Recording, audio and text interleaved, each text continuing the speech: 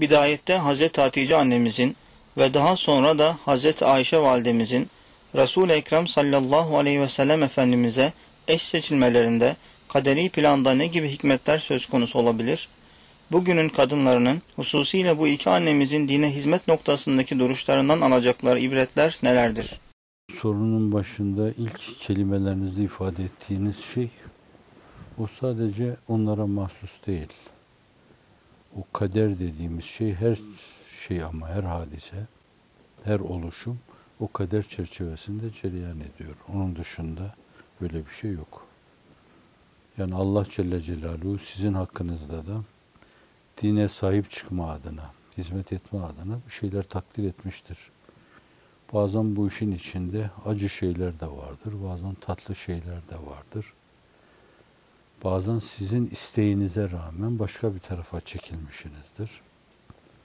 Arzunuza rağmen farklı şeyler yaptırtılmıştır size. Bunların hepsinde kaderi bir plan vardır.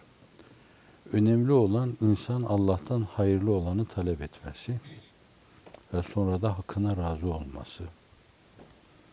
Öyle bir durumda iyi olmaya çalışması. İyi olarak iyi olmayan, iyi görünmeyen şeyleri iyiye çevirmeye çalışması önemli olan. Diyelim ki şansınıza öyle iyi bir şey düşmedi, böyle bir yol düşmedi, öyle bir ev düşmedi, öyle bir araba düşmedi. Öyle bir durumda iyi bulma nasıl olacaksa şayet Allah'ı hoşnut edecek, onun rızasını kazanacak, onun sizden razı olacağı yöne yönelecek ve sizin de ondan razı olacağınızı vicdanlarınıza duyacak iyi işleri takip etmek lazım. Her şeyde var o. Ama Efendimiz sallallahu aleyhi ve sellem çok umumi bir misyonla gönderiliyor. Evrensel, umum herkese alakadar eden bir mesajla geliyor. Çok muhtevalı bir mesajla. Hani dinin tarifi içinde onu kendimize göre manalandırıyoruz. Vad'un ilahiyyun sayikun lizevil ukuli bi ihtiyariyumul mahmudeti ilal hayri bizzat insanları iradeleriyle, kendi iradelerini kullanarak bizzat Mahmud'un bil hayır olan bir hayırlar mecmuası veya bir sistemler mecmuasından ibarettir. Böyle bir vazı ilahidir diyoruz. Şimdi böyle bir vazı ilahinin temsilcisi Efendimiz sallallahu aleyhi ve sellem. Şimdi onun ne Kabe'de yaratılması, Mekke'de yaratılması, ne öyle bir muhitte yaratılması bunların hiçbiri rastlantı değildir.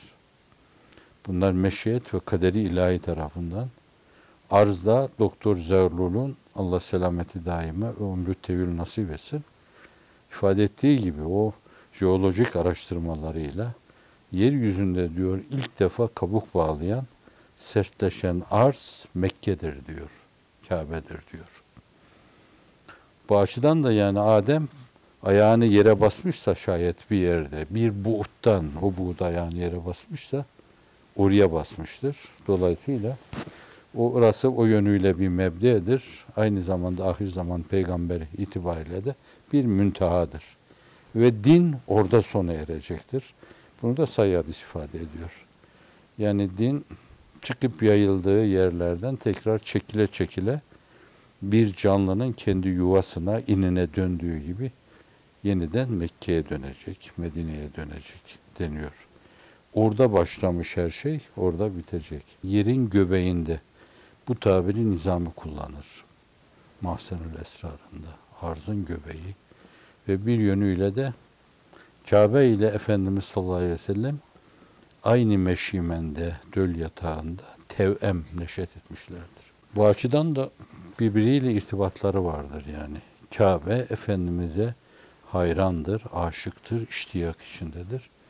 Efendimiz de sallallahu aleyhi ve sellem vazife ve sorumluluğun ağırlığını vicdanında, sırtında hissettiği dönemde bile ona iştiyakını gizleyememiştir. Eğer kavmim beni senden çıkarmasaydı senden ayrılmazdım diyor. Burada o ikiz olma meselesini düşüneceksiniz. O çevreyi de biliyordu o yani o çevresinde gelen o peygamberler onlar falan falan yerde filan filan yerde Allah tarafından ona bildiriliyor. Bu yönüyle. Şimdi o hususiyetleri cami efendimiz evrensel, umum herkese alakadar eden bir mesajla geliyor. Bunların hiçbiri rastlantı değildir. Şimdi böyle umumi bir mesajla gelen Efendimiz sallallahu aleyhi ve sellem hayatında çok önemli bir meselenin rastlantıya verilmesi o da mümkün değildir. Şimdi bir hayat arkadaşı çok önemlidir yani. Ben Hazreti Hatice validemize bakınca nasıl bakıyorsun? Yani Siyer'deki şeyine, fotoğrafına bakıyorum. Siyer'deki tipine bakıyorum. Yani Efendimiz sallallahu aleyhi ve sellem peygamber olarak Frenkçe ifade edecek olsak hani caizse öyle demek prototip veya insanı kamil. İnsanlığın yaratılmasında gaye sayılan insanı kamil olmak. Allah'ı zatı üluhiyetine şayeste, mayetün nefsül emriyesine uygun duyma, bilme, hissetme, kavrama ve sonra mükellefiyetlerini yerine getirme derinliği ifade eden bir şey. Cilinin ifadesiyle. Şimdi Hatice validemiz peygamber değil yani. Eğer Efendimiz'den sonra peygamber olma meselesi, peygamber gelme meselesi söz konusu olsaydı rahatlıkla söyleyebilirdik. Bazıları Hazreti Asya'ya, Hazreti Meryem'e dedikleri gibi Hatice validemiz de bir peygamber olabilirdi. Çünkü peygamber ahlakını, evsafını cami, mükemmel bir kadındı. Sanki Efendimiz'den evvel Hani Efendimiz'den de yaşı zannediyorum Siyer'in gösterdiğine göre 15 yaş kadar farklıydı. Biriyle evlenmişti. Fakat o zevç ona zevç olacak kapasitede, kabiliyete değildi. Allah aldı onu. Senin şimdi böyle işte bir zevç olma, bir zevci olma durumun söz konusu. Sen esas başkasına namzetsin der gibi aldı onu. O da iffetiyle, namusuyla, yani o dönemde onun iffeti, namusu, ismeti, fetaneti mevzunda hiç kimsenin tek bir kelimeyle bir şey dediğini siyer kaydetmiyor. Müstesna bir kadın. Diğer yandan Efendimiz sallallahu aleyhi ve sellemi görünce firasetiyle çok iyi keşfediyor. Onu bir emin olarak, bir sadık olarak, bir fatin olarak keşfetmesi kervanlarının başına sen bu kervanların başında git demesi mevzu. İster ticari açıdan, iş yapma açısından, isterse güvenilirliği açısından, isterse onun gelecekte o haneye girmesini sezmesi açısından neye verirseniz veriniz. Bunlar yüksek bir fetanetin, yüksek bir dirayetin ifadesidir. Yani o Efendimizin sıfatları sayılan sıdk, ismet, fetanet, emniyet, emanet gibi şeyler adeta Efendimizle paylaşıyor. Ama birinin hissesine peygamberlik çerçevesinde düşen düşüyor. Öbüründe de bir sıddıkiyet gibi belki, belki bir farklı insanı kamil çerçevesinde ona da öyle düşüyor o mesele. Bu rastlantı değildir. Hatice validemiz gibi o ilk dönemde Efendimiz'e vahiy geldiği anda öyle bir hayat arkadaşı olmasaydı, yani ta vahyin gelmesi meselesinde Efendimiz sallallahu aleyhi ve sellem vahyin ağırlığı, sorumluluğun ağırlığı burada. Efendimiz o kadar rahat hareket edemezdi. Bunu böyle söylüyoruz ve esbab dairesi içinde diyelim buna. Ama Cenab-ı Hak onu o türlü şeylere düşmemek için daha baştan desteklemiş yani. Payandayı hazırlamış. Ona 40 yaşında peygamberlik gelince öbürü de 50 yaşına aşkın Hatice validemiz yaşını başına almış, olgunlaşmış, tecrübeli orada. Ve aynı zamanda Mekke'nin içinde ileriye gelenlerden, imkanlar olanlardan. Bu Efendimiz sallallahu aleyhi ve sellemin üzerine yüklenen o ağır yükü paylaşacak, elini işin altına sokacak kadar basiretli, firasetli, kiyasetli ve fetanetli bir kadın. Bu açıdan çok önemlidir. Sadece o bir iki vakaya baktığınız zaman mesela Efendimiz işte vahye isterseniz o andaki algılanması açısından maruziyet diyebilirsiniz. İsterseniz vahyin mahiyeti itibariyle masariyet diyebilirsiniz. Ama şahsa göre diyelim ki Cebrail hiç beklenmediğin şekilde sizin karşınıza ilhamla dikilse, böyle bir şeyleri size yüklese acaba cin mi çarptı beni? Ne oldu bana yoksa? Halüsinasyon mu görüyorum falan diyebilirsiniz. Ama diyor ki sen işte yetimlere bakarsın böyle dulların imdadına koşarsın. Sen şusun, sen busun. Şimdi nasıl bir şeyse Yasin suresinde sözden söze geçiyorum. Yasin vel Kur'anel Hakim inneke leminel mürselin ala sıratı müstakim tenzilel azizir rahim litunzire kavmen ma unzire abahum bir kavmi inzar edesin ki babaları onların, dedeleri, dedelerinin dedesi, dedelerinin dedesi Hazreti İsmail'e kadar hiç inzar edilmediler. Onlar bir bakiyeyi dinle idare etti gittiler. Şimdi semalarında vahye ait bir şimşeğin çakmadığı bir dönemde o kadının feraseti, fetaneti çok müthiştir. Sen bu güzel şeyleri yapıyorsun. Ahlak hasenenin biricik temsilcisisin. Allah seni terk etmez. Allah seni böyle bir şeye maruz bırakmaz. Bu açıdan Efendimiz sallallahu aleyhi ve sellem esas masariyeti masariyet olarak Hatice validemizin desteklemesiyle görüyor yani orada.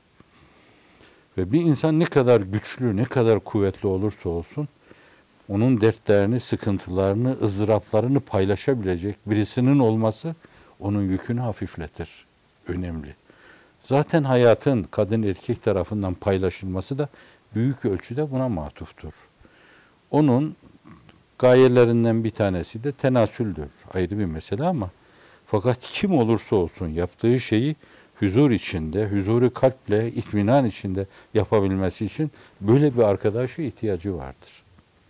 Hangi meslekte olursa olsun paylaşabileceği duyguların, düşüncelerin paylaşabileceği bir ihtiyacı vardır.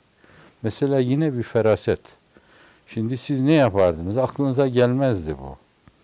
Veraka bin Nevfel akrabası oluyor Hatice validemizin.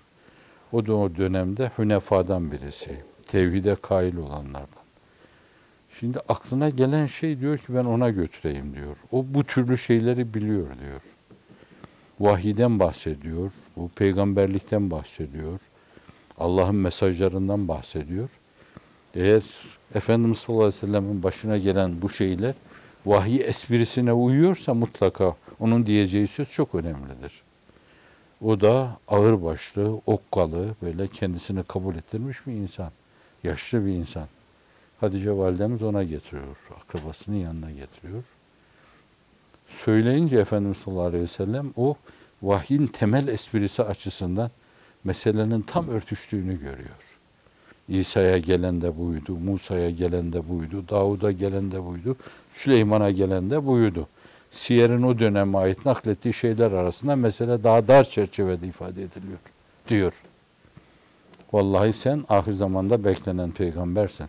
Allah bana ömür verirse şayet o günlere yetişsem de göğsümü gersem, seni himaye etsem. Yani bir yönüyle Ebu Talip olsam der gibi, Abdülmuttalip olsam der gibi bir şey yani. Şimdi burada yine Hatice validemizin fetaneti görülüyor yani. Nerede nasıl karar verecek? Hani deha için derler intihap yoktur. Yani bir şey yapacağı zaman hiç düşünmeden, taşınmadan hemen bir karar verir, şipşak her şey yerine oturur. Şimdi o mübarek validemizin tavrına bakılınca işte böyle her şey şipşak yerine oturtacak şekilde bir şey. Öyle bir şey ki zamanla o büyük kadın Ayşe validemiz Efendimiz o ilk zevcesinden bahisler açtığında böyle azıcık yarı şaka yarı gerçek ona yani sanki ondan başka kadın yok mu diyor. Demek ki en kıskanmaz insanlar üzerinde bile insanın tabiatında bulunan yumuşak, mülayim, Ayşe validemizden bahsediyorum. Tabi böyle diyeceğim. Yumuşak, mülayim, hafif, mahsursuz o kıskançlık duygusunu tahrik ediyor yani. Böyle bir kadın. Belki başkaları yanında da Efendimiz sallallahu aleyhi ve sellem öyle Hadice deseydi sadece o değil de yani baldızı bile geldiği zaman heyecan duyuyor evde.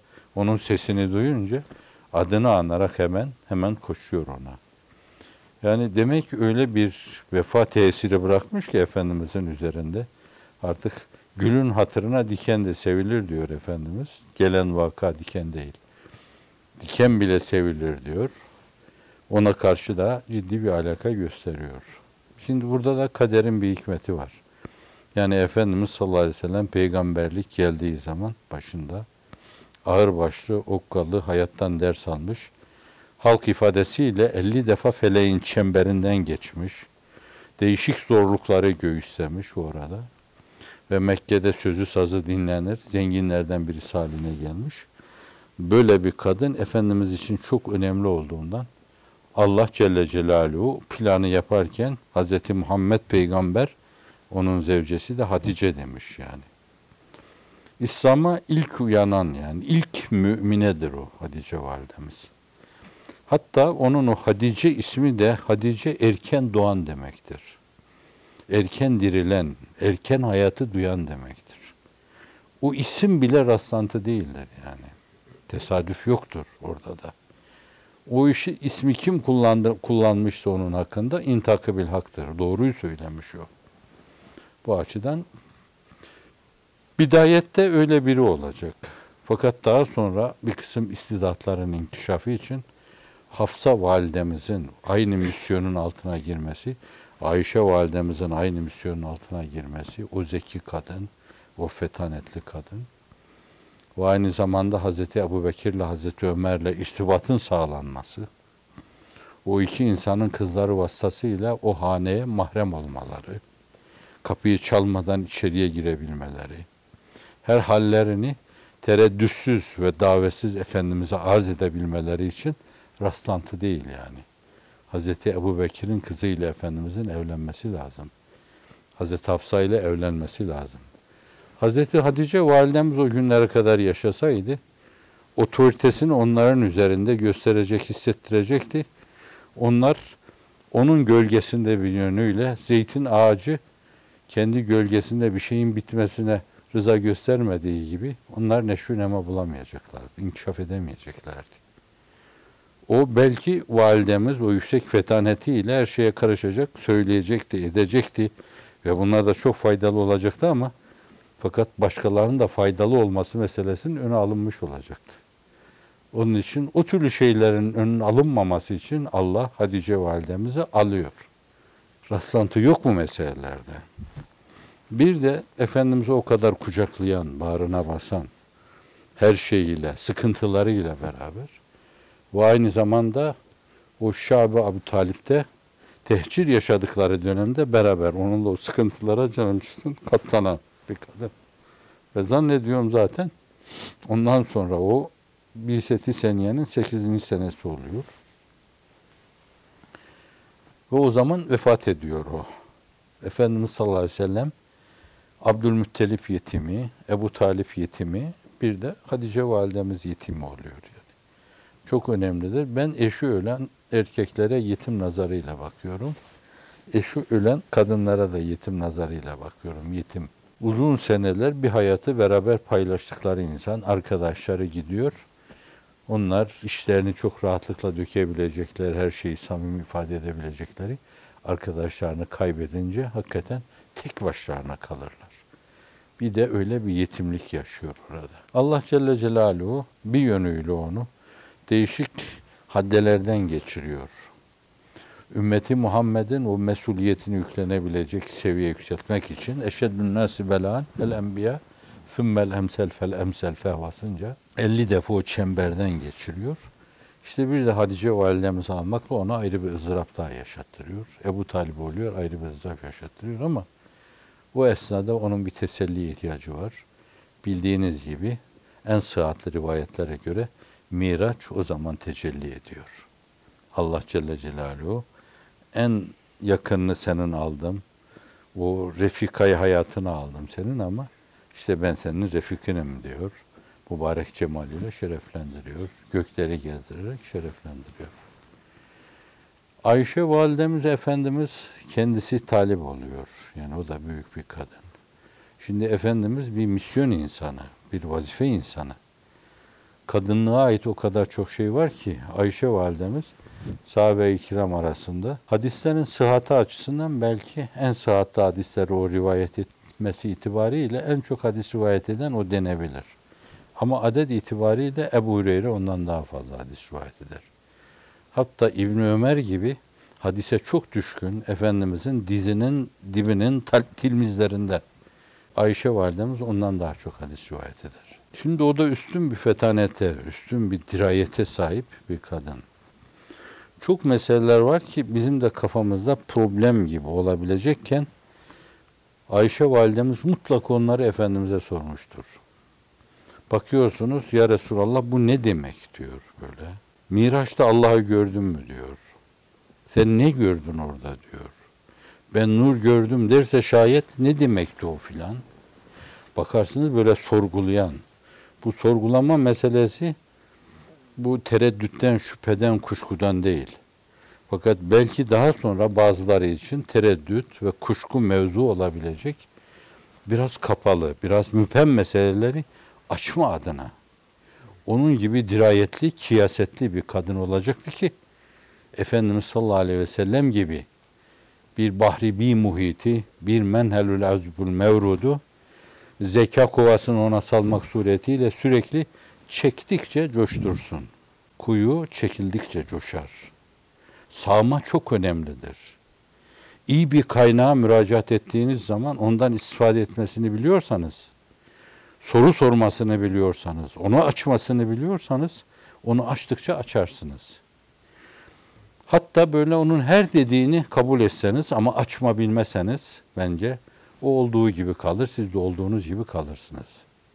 İşte Ayşe validemizde de peygamberliğin tomurcuklaştığı, semerelerini verdiği bir dönemde, vahiy gayri metluğun bir çağlayanlar halinde coştuğu bir dönemde Ayşe validemiz gibi bir kadına ihtiyaç var ki Hafsa validemiz gibi çok az, Ümmü Seleme gibi çok az kadınlara ihtiyaç var ki Efendimiz gibi sallallahu aleyhi ve sellem bir yönüyle bir kaynağı coştursunlar. Onu fevvareler halinde fışkırsınlar ve herkesin istifadesine sunsunlar onu. Bu açıdan 4000 küsür 5000 hadise yakın yani Buhari mecmuasında geçen hadisler kadar sıhhatli hadis rivayet ediyor Ayşe validemiz. Ve onun hadislerine baktığınızda çok dersler de vardır. Kur'an-ı Kerim'in ayetlerini de sorar orada. Ve Kur'an-ı Kerim'in ayetleri yerine ne manaya geliyorsa onun izahını da oraya yazmayı düşünür. Mesela Hafizu ala salavati ve salatil usta ve kumu lillahi kanitin. Beş vakit namaza devam edin, salat ustaya da devam edin. Katibine der ki Kur'an-ı Kerim'de orayı yazarken getir bana ben şu şeyi kaydı düşeceğim oraya. Salatul usta, salatul asr diye. Onu Efendimiz'e sormuş, tespit etmiş. Salatu usta nedir ya Resulallah demiş. Böyle önem arz eden namaz. Efendimiz de ikindi namazıdır buyurmuş. Yani her şeyi kurcalayan, her şeyi soran, onda derinliğe ermeye çalışan ve bizim istifademize sunulabilecek şeyleri çıkaran büyük bir kadın olması itibariyle Efendimiz sallallahu aleyhi ve sellem ona talip olmuş. Yoksa Efendimiz aynı zamanda o meseleyi de biliyor. Daha sonraki senelerde oryantalistler, o dönemde bir kısım ehli kitap, belki kitapsızlar, bundan dolayı kendinden oldukça genç olan Efendimiz sallallahu aleyhi ve sellem o zaman aşağı yukarı 53 yaşında. Ayşe validemiz de o zamanlar biraz da o toplumun geleneklerinde o türlü şeyler de oluyor. İşte 16-17 yaşında veya 20 yaşında olma ihtimali var. Şimdi bu Efendimiz bu meselenin tan edileceğini bilir. Ve gelen taanların aynı zamanda onun şahsında dine racı olacağını da bilir. Onun bunları bilmemesi mümkün değil. O yüksek feraset sahibi. Ve hayatının gayesi dindir onun. Dine gelecek küçük bir taandansa ölür onun uğrunda. Şimdi bunu bir yana koyun. Fakat bir diğer taraftan da Ayşe validemiz gibi sorgulayan birisi lazım ki o din vermesi gerekli olan semerelerini versin. O peygamberimizi konuştursun. Ve hususiyle Efendimizin ailevi hayatı ile alakalı, mahrem hayatı ile alakalı, kadınlık alemi ile alakalı meseleler, erkekler bunları bilemezler ki. Gelir sorarlar da kadınlar, Ayşe validemiz çok defa olmuştur, onu bir kenara çeker kulağına fısıldardı. O işin izahı şudur derdi ona. Bağışlayın mesela aybaşı oluyor. Ne zaman ben temizlenirim? Mesela nifas hali oluyor. Çocuk doğurma hali oluyor. Ne zaman nasıl olur? Eğer Ayşe validemiz bu mevzuda olmasaydı kadınlığa ait çok mesele müphem ve muğlak kalırdı. Efendimiz sallallahu aleyhi ve selleme bir mesele sorulduğunda bir haya vardı ki onda. Hazreti Hatice validemizle karşı karşıya geldiğinde de öyle buram buram terlemişti. Bizim gibi yırtık değil o. Buram buram terlemişti. Şimdi böyle birisi kadınlığa ait bir mesele gelip soracak orada. Ne zaman özür dilerim bağışlayın su iktiza eder. Efendimiz utanır bundan. Yüzünü çeviriyor. Böyle bir meselede. İşte öyle bir meselede içten öyle birisi lazım ki o kadını bir kenara çeksin, ona fısıldasın. Şu durumda desin. Bu açıdan da onlara dinin muhaşşisi, şarihi, kavli şarihi, bürhanı vazı denebilir bunlar. Bu iki tabir eski tasavvuru mantığa ait tabirler ama bunları Kur'an-ı Kerim mevzunda Hazreti Piri Mugan Şemitabanda kullanıyor diyeyim. Validemizin bir müştehidi olduğunda hiç şüphe yok. O dönemin önemli müştehidelerinden. Bir dönemde her şeyi hafızasına yerleştiriyor. Her şeyi soruyor. Hükümleri soruyor. Ne neye dayanıyor? Neye binaen bu böyle? Bunları soruyor. Öyle kesbi mümarese ediyor ki başka bir dönemde kapısına gelip sorunca hiç kimse cevapsız kalmıyor. Düşünün ki Urve gibi bir kudve, bir müştehit onun yeğeni hem hem de yetiştirmelerinden oluyor. Abdullah İbni Zübeyir onun yetiştirmelerinden oluyor. Düşünün ki tabiinin çok imamları Ayşe validemize geliyor, mesele soruyorlar. Onlar da o kuyuya kova salıyorlar. O kuyuyu çekiyorlar. O kuyu feverana geçiyor. Sürekli fışkırtıyor Allah'ın izni inayetiyle. Burada akla bir şey gelir. Ayşe validemiz peygamberimizin zevcesi. Zevcesi olması itibariyle Efendimizin döneminde, Efendimizden sonra başkalarıyla evlenmeleri haram. Başkasının da onlarla evlenmesi haram. Haram, kati haram yani. Şimdi bu yönüyle hepimizin anası zaten Ümmahatül Müminin deniyor onlara. Müminlerin anaları. Bir bu yönüyle bir mahremiyetleri, anamız olma gibi bir kutsiyetleri, bir aşkınlıkları var. Bir diğer mesele de Ayşe validemiz kısım meselelere cevap verirken hep sütre arkasından konuşuyordu. Ancak yeğeni gibi kimseler, Urve gibi kimseler yanına rahatlıkla girebiliyorlardı. Bir diğer meselede bazıları diyelim Tavus geldi onu dinlemeye durduysak Mesruk mesela ta şeyden geliyor, Bağdat'tan geliyor. Mesruk İbni Ecde Ömer Hazreti Ömer Efendimiz adını değiştiriyor. Mesruk İbni Abdurrahman diyor. Tabiinin önemli imamlarından. Yakınlarından birisinin sütünü emziriyor ona. O yaş tanımıyor Ayşe validemiz orada. Hani fukahanın süt emme mevzunda yaş takdirleri var. Üç sene mi, iki sene mi? On yudum mu, beş yudum mu, sekiz yudum mu? Hanifilere göre üç tane yudum bile alsa, bir yudum bile alsa süt tahakkuk ediyor. Ayşe validemizin iki sıradan o mevzuda bir iştihadı daha var. Yaşı yok diyor. Hangi yaşta olursa olsun. Süt emziğinde diyor o sütten o kardeşlik teessüs etmiş olur diyor. Bu açıdan da bazı tabi'in dönemindeki bazı imamları süt kardeşi yaparak onları sütten akrabalık tesis ederek onları yanına alıyor. Mesela Esma validemizin bir çocuğuyla süt emziriyor. Başka birisinin çocuğuyla yakınlarından kardeşi Abdurrahman'ın şeyleriyle süt emziriyor. Dolayısıyla o dayısı oluyor, o da halası oluyor. Böyle. Bu açıdan sürekli kapısı açık tutuluyor ve herkes ona gelip mesele soruyor ve sonra sonra o bir bahri, bir payan haline geliyor. Bu açıdan Efendimizin yine tercihinde onun daha sonra dine o ölçüde hizmet edeceğini keşfederek veya sevki ilahiyle hani bir rüyası da var Efendimizin.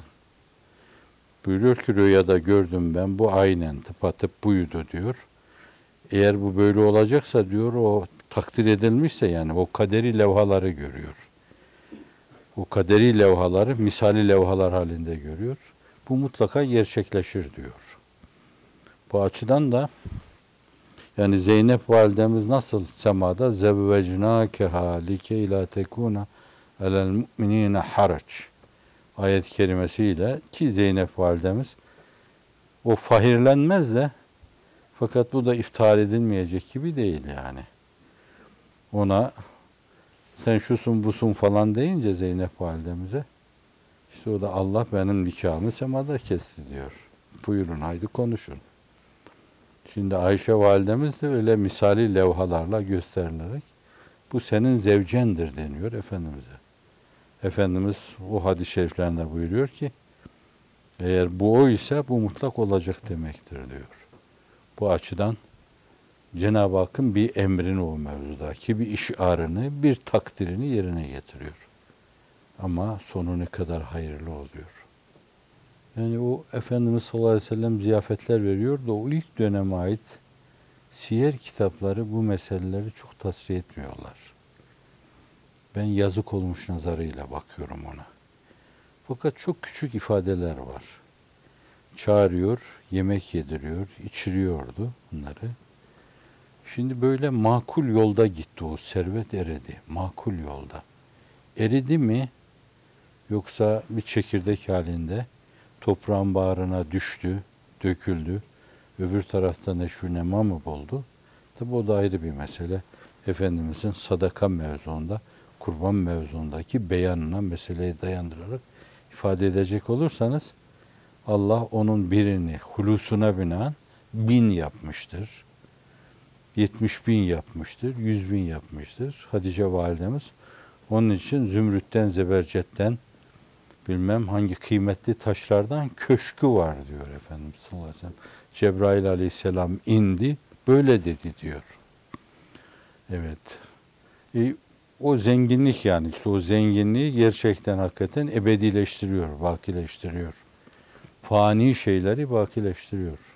Ayşe validemiz de iradi olarak öyle zahidane yaşıyor. Gerçi zahidane yaşama mevzuunda yani Abdurrahman bin Avf de zahidane yaşıyor. Hazreti Osman bin Affan da zahidane yaşıyor ama servetleri çok bunların.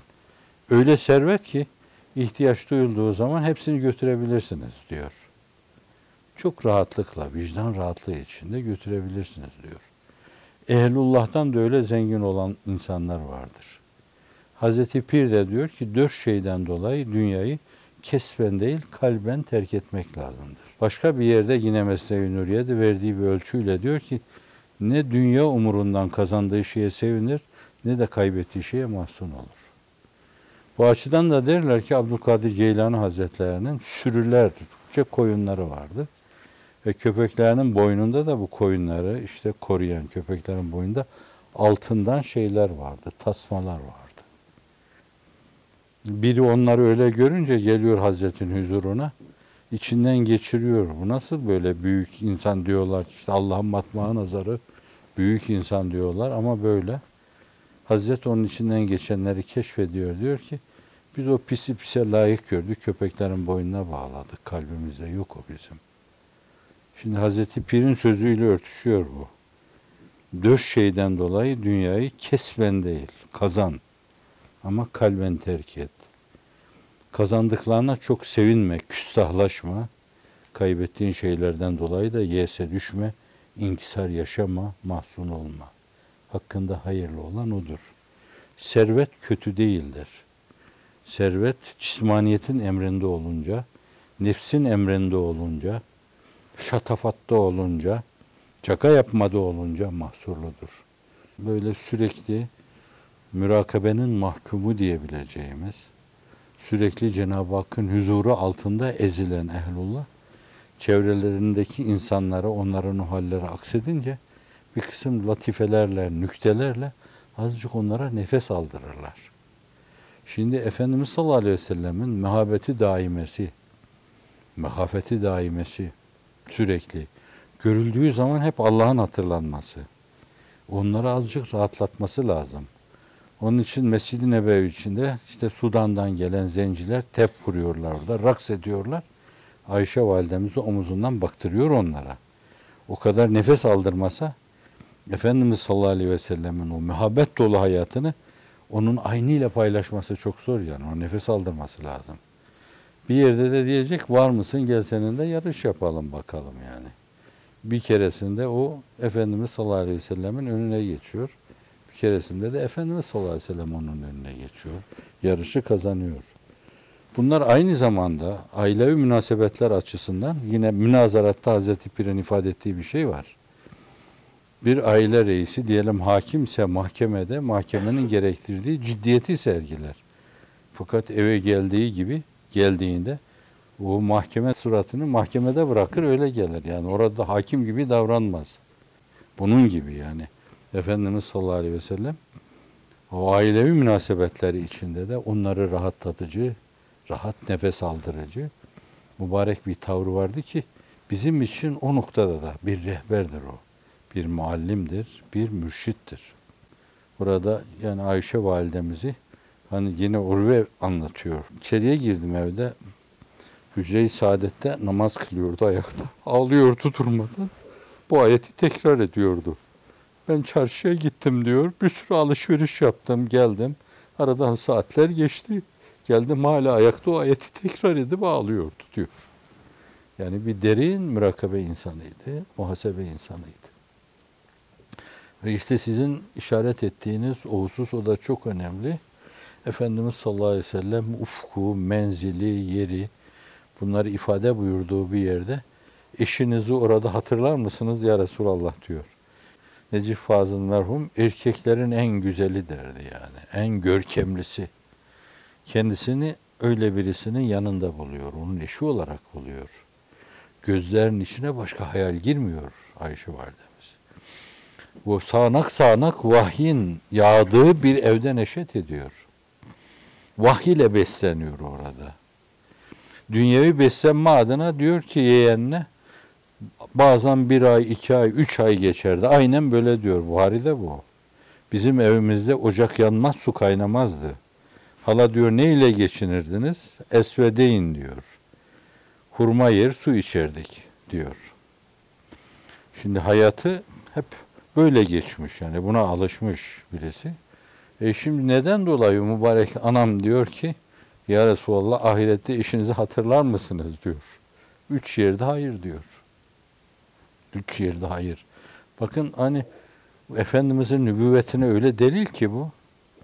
Yani bu kadar işte ona gelmiş, ona hizmet etmiş, emrine amade, el este, böyle karşısında el pençe divan durmuş.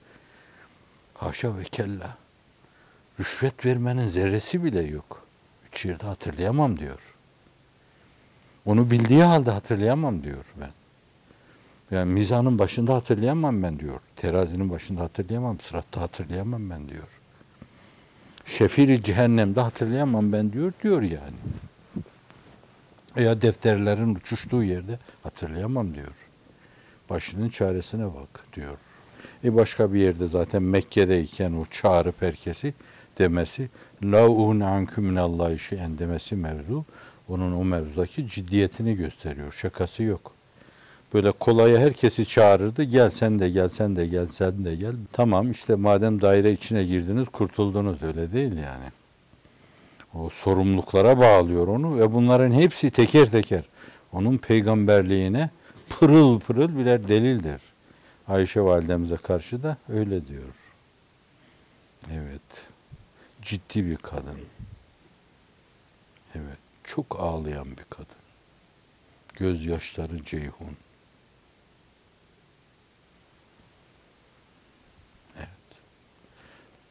Bu kadar alakadar gibi onlardan bahsetmemiz onların bizi el uzatmasına bir çağrıdır, bir davetiyedir.